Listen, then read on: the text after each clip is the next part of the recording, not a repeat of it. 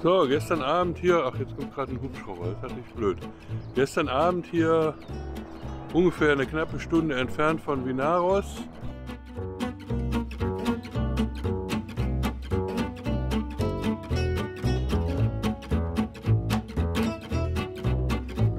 Ungefähr eine knappe Stunde entfernt von Vinaros äh, einen äh, Parkplatz gefunden bei Park for Night und hier konnte man ganz gut übernachten.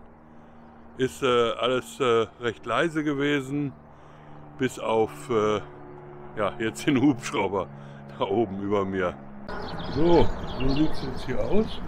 Ist ein ganz langer Parkplatz an einer. Nee, da geht es auch raus. Also direkt in einem Wohngebiet. Äh, dahinter ist so ein kleiner Park. Zeige ich euch jetzt mal kurz. Achso, sollte ich auch das Mikrofon rumdrehen, dann hört man auch ein bisschen besser.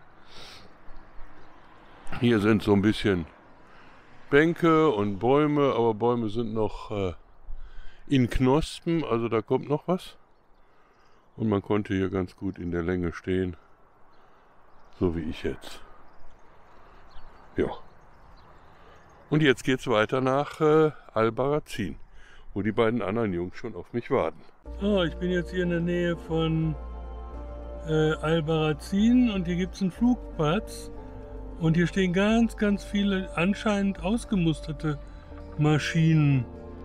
Äh, British Airways ganz viele und äh, UK International, glaube ich, und andere. Da ist zum Teil sind die Motoren schon offen. Ich glaube, das sieht ein bisschen aus wie so ein, Flugha äh, wie so ein Flugzeugfriedhof.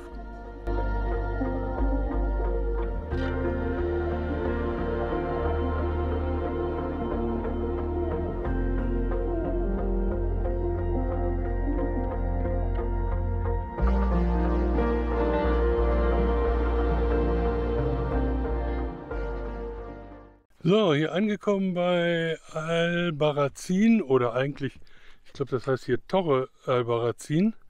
Das ist in der Nähe von dem Ort Albarazin, wo hier gibt es einen Stellplatz hier. Ähm, ein kostenfreier. Äh, hier entlang kann man stehen. So, und der die Bewachung läuft gerade weg vom, der ist hier die ganze Zeit, läuft er hier rum. Der Hund ist ganz lieb. Ist groß, aber ganz lieb. Und hier kann man, wie gesagt, am Rand überall stehen. Und hier gibt es auch eine Ver- und Entsorgung. Gehe ich jetzt mal gucken. Müllcontainer gibt es hier. Da ist, genau, das ist super. Das ist ein Ver- und Entsorgungsplatz. Oh, da jetzt hier null Internet war, und ich bin ja ein bisschen auf Internet angewiesen, hier auf dem Stellplatz in Torre Albarazin. Fahren wir jetzt weiter zum nächsten Stellplatz in der Hoffnung, dass äh, da besseres Internet ist. Schauen wir mal. So, wir waren jetzt hier in der Nähe an einem Stellplatz, in der Ralf von Living to Go schon mal vorgestellt hatte. Aber das ist so kompliziert, da sich einzubuchen und den äh, Code für das Tor zu bekommen, das war uns zu kompliziert. Wir sind jetzt hier zu diesen Wasserfällen gefahren äh, in der Nähe und hier gibt es einen großen Parkplatz, der auch äh, in der Woche kaum genutzt wird und deswegen werden wir heute Nacht hier stehen bleiben. Und die Aussicht hier ist gigantisch. Auf die Felsen. Und morgen gehe ich dann mal bei den Wasserfällen gucken.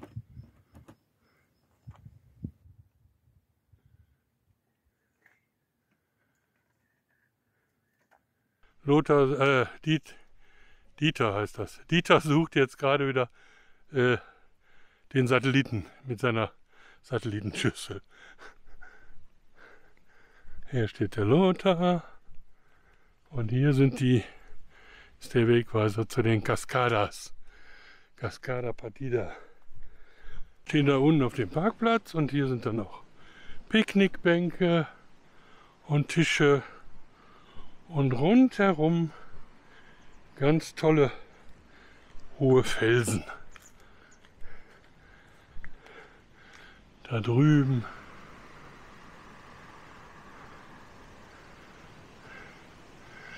Richtig toll sieht das aus.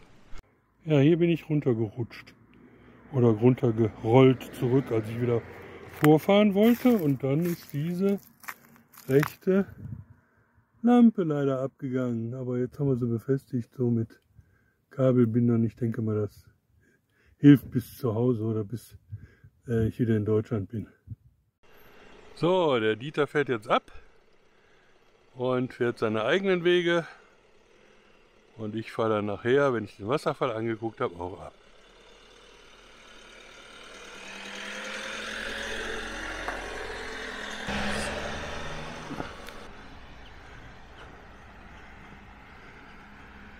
So, jetzt wollen wir uns mal die Wasserfälle hier unten, Cascada de Batida anschauen. Mal schauen.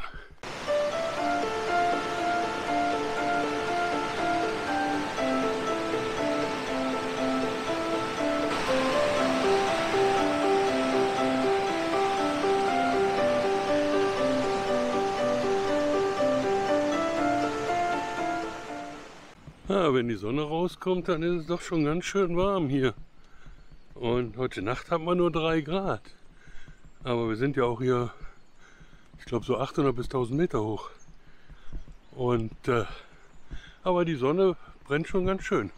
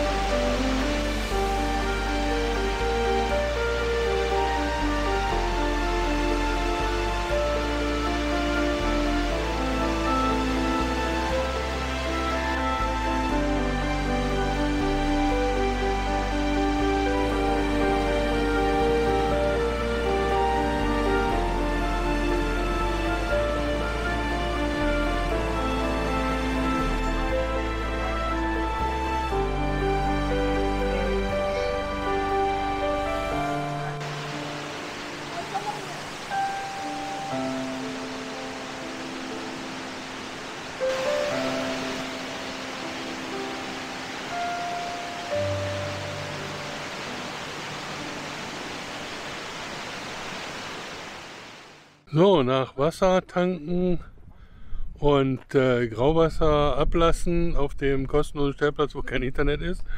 Da bin ich nochmal hingefahren und stehe ich jetzt hier etwas außerhalb von Albarracin. Da gibt es zwar einen Stellplatz, aber der ist noch nicht fertig. Der ist wohl ewig in Bau. Und ein Stück weiter gibt es aber einen Parkplatz. Da kann man gut am Ende kann man gut stehen. Hier stehen auch noch andere Camper. Ich zeige euch mal ein bisschen was von der Gegend. Hier ist so ein Dinopolis, wo ist so wahrscheinlich so ein äh, Eventpark mit einem großen Flugsaurier oben drauf oder Schwimmsaurier. Er ist ein, ein schwimmendes Tier, glaube ich.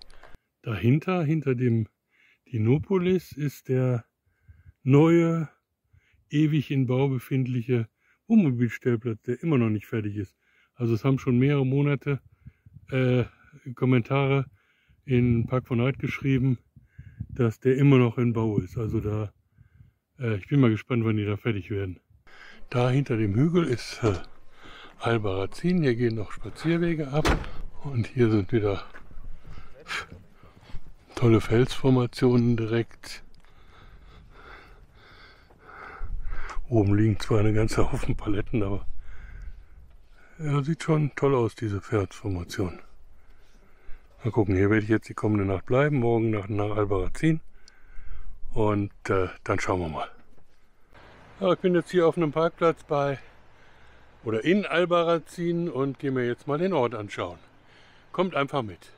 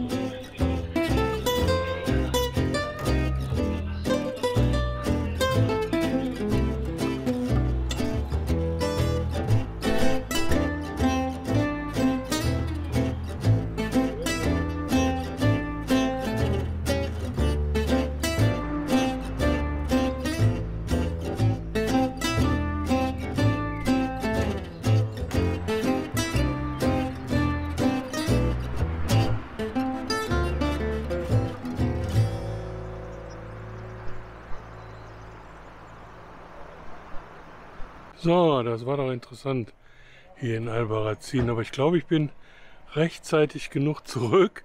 Denn guckt mal da hinter mir. Ganz schwarz ist es. Kommt bestimmt gleich Regen. Aber lassen wir uns überraschen, ich bin ja gleich wieder im Camper. Hier unten auf dem Parkplatz ist äh, für äh, Camper zwischen 22 und 8 Uhr morgens äh, das Parken verboten. Aber ich glaube, da stört sich keiner dran, denn hier stehen mindestens drei Fahrzeuge, dahin stehen noch mehr, die äh, die Verkleidung vorne drauf haben vor der Windschutzscheibe oder innen. Und das sieht aus, als wenn die hier übernachtet haben. Alles Spanier. Also ich weiß nicht, ob sich da keiner dran stört. Gut, ich habe ja woanders übernachtet, wo es nicht verboten war. So, ich bin jetzt hier auf dem kostenlosen Stellplatz in Teruel. Äh, in der, ja, an der Straße nach Saragossa.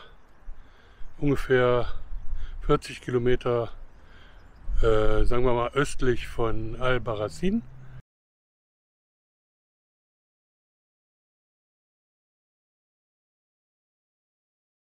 So, nach zwei Übernachtungen hier in Teruel auf dem ja, schönen Stellplatz, ein bisschen schräg, aber wie gesagt, äh, das gleicht meine Luftfederung ja aus. Andere stehen auf Keilen. Äh, die Nächte waren sehr ruhig, ist zwar hier direkt neben äh, eine Straße, aber äh, nachts war da wohl nichts los. Ich habe nichts gehört. Das war also überhaupt kein Problem. Morgens fahren hier auf der anderen Seite der, des Zaunes fahren die LKWs dann ab und äh, das hört man dann schon, aber soweit stört mich nicht. Ja. Kassette von der Trockentrenntoilette geleert, Müll weggebracht und jetzt geht's los Richtung Saragossa. Kommt einfach mit. So, gerade hier 15 Kilometer von Teruel auf dem Weg nach Saragossa getankt. Soll ich euch sagen, 1,33,9. Traumhaft. Kann man nur von träumen von sowas. Aber früher, naja gut, war es erheblich billiger in Deutschland. Aber das ist ja nun vorbei. So, ich bin jetzt hier in Saragossa angekommen, nachdem ich mir eine neue Movistar-Karte im Internet im Süden von Saragossa in einem Einkaufszentrum besorgt habe. Bin ich dann weitergefahren hier in den Norden von Saragossa. Hier gibt es einen Stellplatz und in der Nähe des, direkt in der Nähe des Stellplatzes zwei Parkplätze, wo man auch gut stehen kann. Und äh, zeige ich euch jetzt mal ein bisschen ganz kurz. Gibt nicht viel zu sehen, aber was zu sehen gibt, zeige ich euch. So, da hinten äh, ist der offizielle Stellplatz. Da wo diese hohen Säulen, die Säule steht und rechts irgendwie so hohe Schilder oder äh, und hier kann man dann aber auch auf diesem ganzen Stück hier ganz gut übernachten und äh, stehen. Und ich stehe jetzt hier auf dem Randstreifen mit der Tür zum Grünstreifen und zum Stadion. Hier gibt es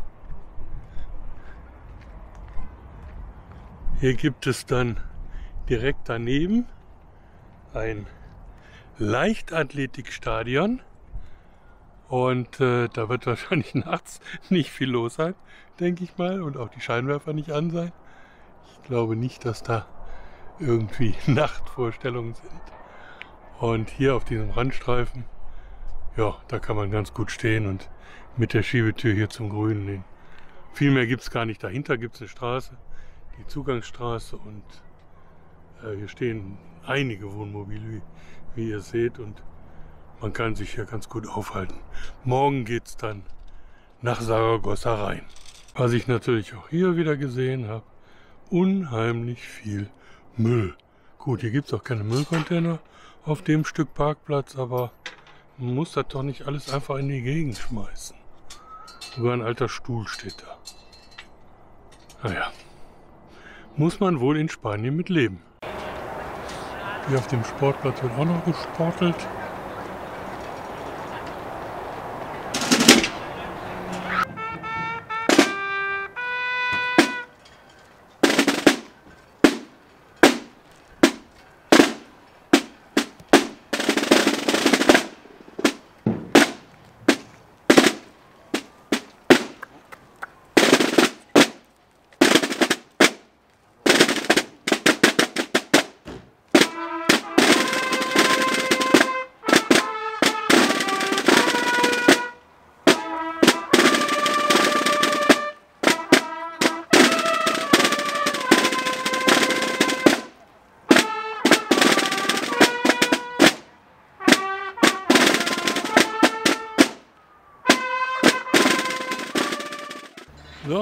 Erstaunlicherweise habe ich hier einen Parkplatz gefunden in Saragossa und gehe mir jetzt mal die Kathedrale angucken.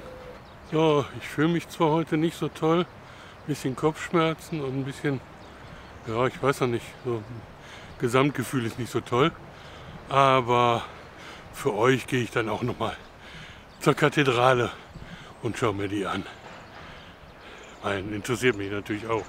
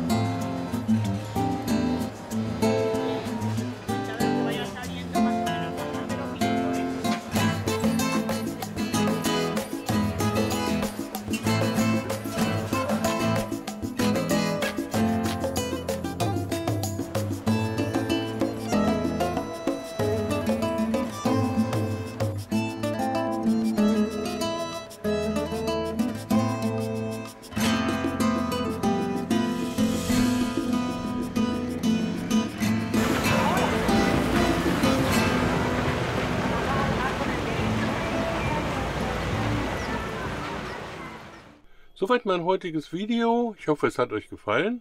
Wenn ja, freue ich mich über einen Daumen hoch. Und wenn ihr noch nicht abonniert habt, abonnieren nicht vergessen und die Glocke aktivieren. Dann werdet ihr immer informiert über neue Videos, die ich rausbringe. Abonnieren kostet nichts, aber mich bringt es eine Menge weiter. Ich sage dann für heute Tschüss, euer Thomas von Falter Vanlife. Tschüss.